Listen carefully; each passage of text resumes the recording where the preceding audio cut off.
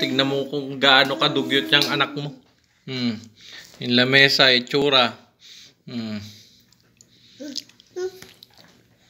Dugyot, dugyot. Dugyot.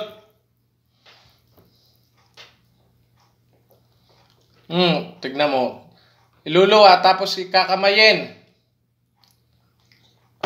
Ay ba, matindi. Oh, sige. Sige. Pagod na si daddy sa work. Pagkakalat ka pa. Paglilinisin mo pa si daddy. Naka naman malakay, malupit ka talaga. Bantindi mo. Tignan mo yung tsura mo na. Pupunasan pa kita. Hmm, sige, sige.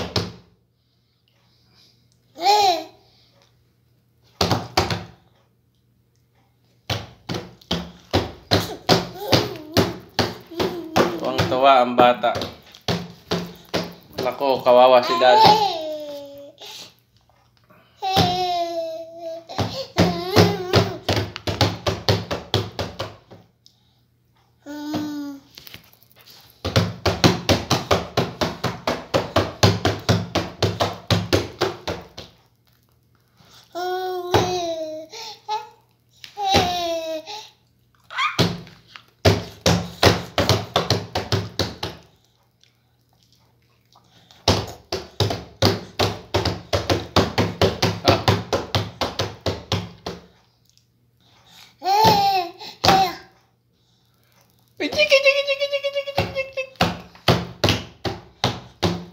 Malaki.